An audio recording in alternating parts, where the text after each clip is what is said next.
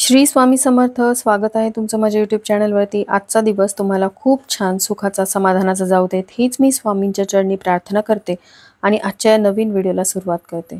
तर आजच्या या व्हिडिओमध्ये एक अतिशय महत्त्वाचा प्रभावशाली असा उपाय मी तुमच्यासोबत शेअर करणार आहे. तर बघा महिन्याला आलेला तुमचा पगार तुम्हाला पुरत नसेल तर एक रुपयाचं नाणं तुम्हाला अशा ठिकाणी ठेवायचं आहे हे नाणं तिथे ठेवल्यामुळे तुमचा श्रीमंतीचा योग सुरू होईल. पैसा जो आहे तो दुप्पट होईल आणि हा उपाय तुम्हाला धनवान बनवेल एवढा हा प्रभावी उपाय आहे. त्यामुळे व्हिडिओ स्किप न करता शेवटपर्यंत बघा. चॅनलवर पहिल्यांदा आला असाल तर नक्की सबस्क्राईब करा आणि असेच नवनवीन माहितीपूर्ण व्हिडिओ बघण्यासाठी बेल आयकॉनलाही प्रेस करा. जेणेकरून जेव्हाही मी नवीन व्हिडिओ अपलोड करेल तेव्हा त्याचं नोटिफिकेशन सर्वात आधी तुम्हाला मिळेल. तर बघा आपल्यापैकी अनेक जण नोकरी व्यवसाय बरेच जण शेती करतात. तर कुठल्या ना कुठल्या माध्यमातून आपल्या घरामध्ये पैसा म्हणजेच लक्ष्मी ही येत असते. पण बऱ्याचदा आपण खूप कष्ट करून मेहनत करूनही आपल्याला त्या मेहनतीचा त्या कष्टाचा म्हणावा तसा मोबदला मिळत नाही. म्हणजेच आपल्या घरामध्ये पैसा आलेला स्थिर राहत नाही. तो कुठे ना कुठेतरी जास्त प्रमाणामध्ये खर्च होतो. म्हणजेच आपल्या हातामध्ये अलक्ष्मी आहे आपल्या घरामध्ये नकारात्मकता आहे ती अलक्ष्मी आहे. त्यामुळेच आपण खूप कष्ट करून मेहनत करूनही आपल्या घरामध्ये पैशाच्या अडचणी येतात गरिबी दारिद्र्य यासारखे संकट येतात. त्यामुळे हा महिन्याचा पगार आपल्याला पुरवायचा असेल तर असा एक उपाय आपल्याला करायचा आहे जो आपल्या कष्टासोबत मेहनतीसोबत नशिबाची साथ मिळवून देण्यासाठी आपल्याला मदत करेल. तर हा जो एक रुपयाच्या नाण्याचा उपाय आपल्याला करायचा आहे तो कोणत्याही बुधवारी आपल्याला करायचा आहे. पण त्याआधी आपल्याला एक गोष्ट करायची आहे. बघा आपण नोकरी व्यवसाय करत असतो तर आपलं एका ठराविक दिवशी पेमेंट हे होत असतं. बऱ्याच जणांचं ऑनलाईन पेमेंट होतं बऱ्याच जणांना कॅश स्वरूपामध्ये पगार हा मिळत असतो. तर ऑनलाईन तुमचं पेमेंट झालेलं असेल किंवा तुम्हाला कॅश मिळालेली असेल तर तुम्हाला काय करायचं आहे? महिन्याला ज्या दिवशी तुमचा पगार झाला त्या दिवशी तुम्हाला शंभर रुपये जे आहेत ते घरी घेऊन यायचे आहेत. जर तुमचं पूर्ण पगार तुमच्या हातामध्ये पडत असेल तर ते सगळे पैसे तुम्हाला घरी घेऊन यायचे आहेत. आता ऑनलाईन पेमेंटमधून काढून आणलेले शंभर रुपये असतील किंवा घरी जी कॅश तुम्ही आणलेली आहे त्यातील शंभर रुपये तुम्हाला घ्यायचे आहेत. आणि त्यानंतर तुमच्या कुलदेवीला ते शंभर रुपये अर्पण करायचे आहेत. त्यानंतर कुलदेवीसमोर तुम्हाला मनोमन प्रार्थना करायची आहे ज्याही तुमच्या अडचणी आहेत त्या तुम्हाला सांगायच्या आहेत. आणि माझ्या घरामध्ये पैसा टिकू दे पैशाला पैसा लागू दे लक्ष्मी ही स्थिर राहू दे यासाठी मनोमन प्रार्थना करून ते शंभर रुपये जे आहेत ते तुम्हाला देवीला अर्पण करायचे आहेत. ज्या दिवशी तुम्ही हे पैसे तिथे अर्पण केले त्या दिवशी दिवसभर ते तिथेच ठेवायचे आहेत. दुसऱ्या दिवशी तुम्हाला ते शंभर रुपये उचलायचे आहेत आणि त्याचे सुटे करून आणायचे आहेत. जवळपास एखादं दुकान असेल तर तिथे जा आणि ते जर सुटे पैसे देत नसतील तर ह्या पैशातून तुम्हाला थोडीशी साखर खरेदी करायची आहे. आणि उरलेले जे पैसे आहेत ते तुम्हाला घरी घेऊन यायचे आहेत.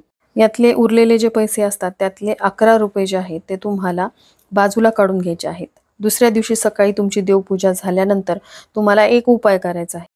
हे जे अकरा रुपये आहेत ते तुम्हाला एका ठिकाणी जमा करायचे आहेत. यासाठी तुम्ही एखादा गुल्लक घेऊ शकता.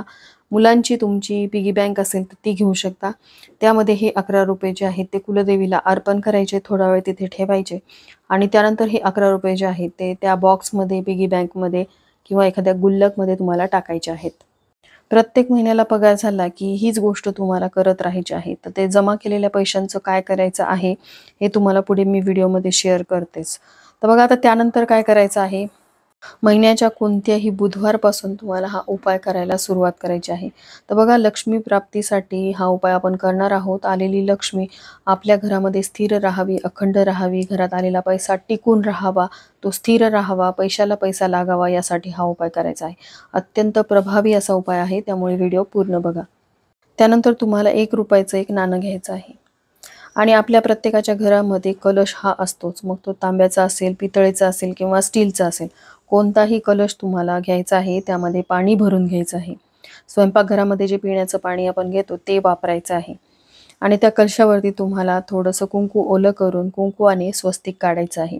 स्वस्तिक काढल्यानंतरमध्ये तुम्हाला चार बिंदू द्यायचे आहेत आणि साईडला दोन उभ्या रेषा काढायच्या. त्याचबरोबर खालून वरती अशा पाच रेषासुद्धा काढून घ्यायच्या आहेत. स्वस्तिक हे शुभचिन्ह श्रीहरी श्री विष्णूंचं प्रतीक असतं. त्यामुळे देवी लक्ष्मी प्रसन्न होते. आता हा कलश तांब्याने भरून घेतलेला आपल्याला तिथे देवघरासमोर ठेवायचा आहे. त्याआधी या कलशाला आपल्याला एक आसन द्यायचं आहे. त्यासाठी एक छोटीशी प्लेट घ्यायची आहे. त्यामध्ये थोडेसे तांदूळ घ्यायचे आहेत. तांदूळ हे समृद्धीचे प्रतीक आहे. त्यामुळे तांदळाची रास घ्यायची आहे. त्यावरती तुम्हाला हळदी कुंकू वाहून घ्यायचं आहे. आणि त्या तांदळाच्या राशीवरती तुम्हाला हा कलश ठेवायचा आहे. त्यानंतर एक शुद्ध गाईच्या तुपाचा दिवा तुम्हाला लावायचा आहे. तूप नसेल तर तेलाचा दिवा लावा. कोणतीही सेवा ही अग्नीच्या साक्षीने होते. त्यानंतर तुम्हाला धूप लावून घ्यायचं आहे. आता त्यानंतर आपल्याला एक रुपयाच्या नाण्यावरती काही सेवा करायच्या आहेत. तर एक रुपयाच्या नाण्याला तुम्हाला हळदी कुंकू वगैरे वाहून घ्यायचं आहे. एक रुपयाचं नाणं तुम्हाला तुमच्या उजव्या हातामध्ये पकडायचं आहे. त्यानंतर ह्या एक रुपयाच्या नाण्यावर सेवा करण्यासाठी नित्य सेवा स्तोत्र मंत्र ही पोथी आपल्याला लागणार आहे. ही पोथी नसेल तर यूट्यूबवरती सुद्धा तुम्ही सर्च करू शकता किंवा गुगलवरती सर्च करू शकता. तर या नाण्यावरती जी सेवा करायची आहे ती म्हणजे आपल्याला तीन वेळा श्री सुक्तमचं पठण करायचं आहे. श्री सुक्तमचं पठण करत असताना दोन वेळा श्री सुक्तम पठण करायचं आणि तिसऱ्या वेळेस पठण करत असताना फलश्रुतीसहित पठण करायचं आहे.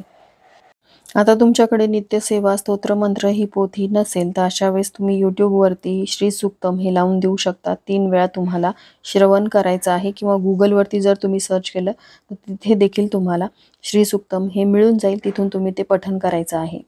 त्यानंतर तुम्हाला एकशे आठ वेळा नवारणव मंत्राचा जप करायचा आहे. तुमच्याकडे एखादी जपमाळ असेल तर ती तुम्हाला हातात घ्यायची आहे. आणि एकशे आठ वेळा ओम एम रेम क्लेम चामुंडाय विच हा नवार्णव मंत्र आहे याचा तुम्हाला जप करायचा आहे.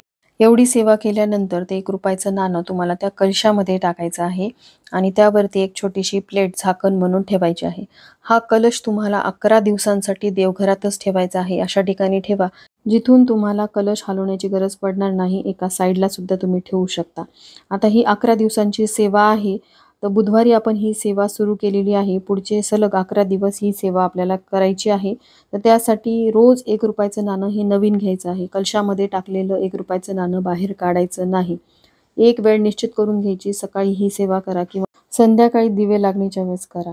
तुमच्या वेळेनुसार तुम्ही ही सेवा करायची आहे. रोजच तुम्हाला नवीन एक रुपयाचं नाणं हातामध्ये घ्यायचं आणि त्याला सांगितलेली सेवा करून त्या रुपयाच्या नाण्याला अभिमंत्रित करायचं आहे.